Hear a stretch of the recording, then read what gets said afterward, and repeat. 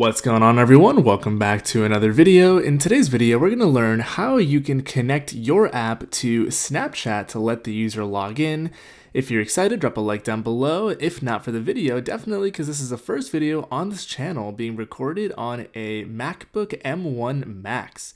So that all said, I've got my physical device connected and mirrored here, and I've also taken the liberty of creating a brand new blank Xcode project. We're working with UI kits. You can just create this, and let's jump right into it. So the first thing we actually want to do is actually close this project, and the reason is, is because we want to go ahead and bring in the Snapchat SDK via CocoaPods. If you don't have CocoaPods installed, feel free to Google how to get that set up.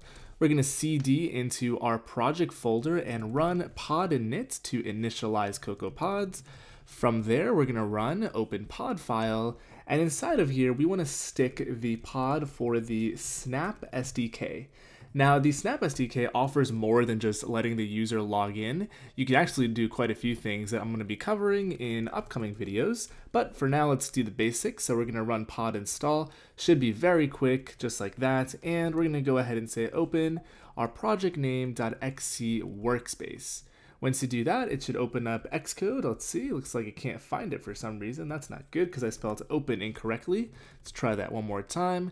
There is our Xcode project. Let me expand this and give it a run on my device. Make sure everything is still good to go. I've got Snapchat here, of course, and our app on the right hand side of it. It's completely blank, nothing there to see quite yet. Looks like it's successfully built and it has launched. So while that's doing its thing, let's go ahead and start building this. Now there isn't a lot of code that actually needs to go into setting this up. The first thing we'll want to go ahead and do is just bring in a connect with Snapchat or continue with Snapchat button.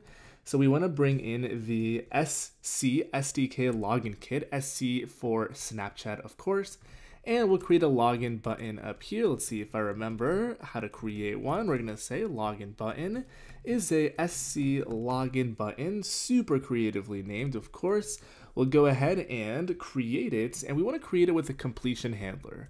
So this will create the button, and then it'll give us either a success boolean back if we successfully signed in, and optionally an error in case something has gone wrong.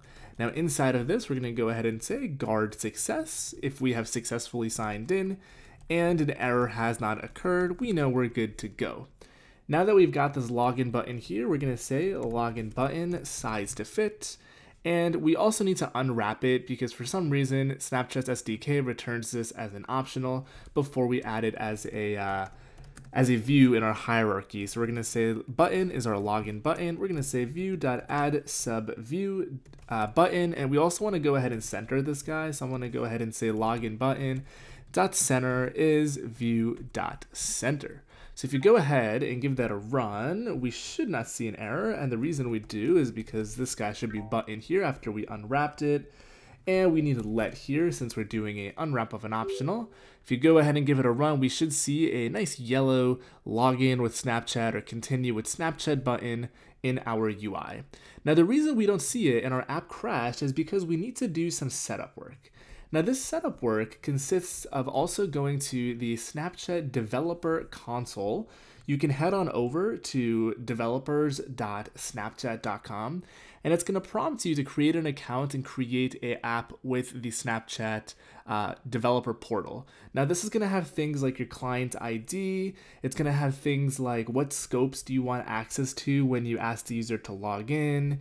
There's a lot of other information here that you can configure like privacy policy, etc., etc. There is a notion of submitting your app to Snapchat for reviewing uh, to get it approved. So there's going to be a section here where you can add things like screenshots and a description, etc., etc. And we're going to want to take things from in here and add it to our info.plist. Now, for the sake of time, what I've gone ahead and done is I've copied this written out to my clipboard already. So what you can do is right click your info plist and say open as, or show as rather, source code. And I'm just going to paste it in down here and we'll talk through each of these pieces of information. There is not that many, uh, but let's talk through them.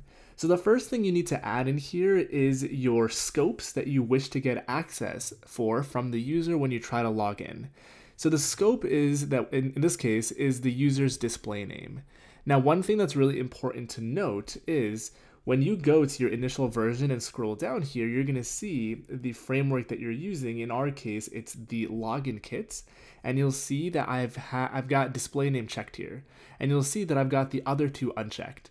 It is extremely important to have the proper scopes checked here that match your info plist, otherwise the login does not work.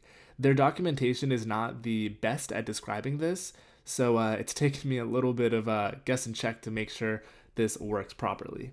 The next thing that we've got in here is our client ID. Now the client ID you can simply grab from your setup tab. You'll see you have a staging section and production. Staging is for development, production is for what it sounds like. You can simply copy your public OAuth client ID and stick it in here. The next thing is any random signature of your app uh, that Snapchat will use to basically open your app again after you have signed in and authenticated. So you can make it literally anything. I just made it um, this crazy app, colon slash slash, and then some suffix. Now you need to add this one here. This one will basically let your application open the following endpoints. So you can open up Snapchat, the Bitmoji SDK, and Items app. This is also all documented on Snapchat side, which I'm going to stick a link for in the description down below. And lastly, we want to add a URL that another app can call to open the app that we're building. In this case, we're going to stick with uh, this, this crazy app, which is what we have told Snapchat is the redirect URL up here as well. So once the authentication either succeeds or fails, we need to go ahead and uh, tell Snapchat to call this URL to open our app. Now, again, we've got documentation. You can read through all of this, but it's a little verbose and uh, it's not the clearest. So I'm also going to link this GitHub doc that I found that someone generously wrote up that goes into details about some of the nuances. Now that we've got this set up, if we go ahead and give it a run, we should hopefully see that Snapchat button in the center of our screen. So connect to Snapchat, super cool. Now, one thing you'll notice when you click it is it won't work, and before I even actually do that is let's just fix it uh, preemptively. So we're gonna go into our app delegate, and we wanna first and foremost import the SC login SDK, the login kits. I'm gonna go ahead and trim these uh, comments for the sake of cleanliness in here. And we need to just add one function, and it is application uh, open URL, let's see which one we want in here. I believe we want the first one. We want to go ahead and return false by default. And we're going to say if uh, sc login kit, and we're going to call the same function more or less. So we're going to say application uh, can open URL, and if you can't find the exact signature, and at the moment I can't, we can always go to the documentation and steal it from here. So let's see which one it is. It should be something along the lines of application. So this one right here, so it is application open URL, and we basically want to say uh, login client, if it can open the URL, return true. So we're going to cheat and copy and paste just like that, and you should be good to go. Hopefully this was the right function. If we hit Command B, we should still be building. I'm going to go ahead and hit Command R to build and run, and let's see if we can actually hit this button and authenticate with Snapchat. So we're going to hit that button.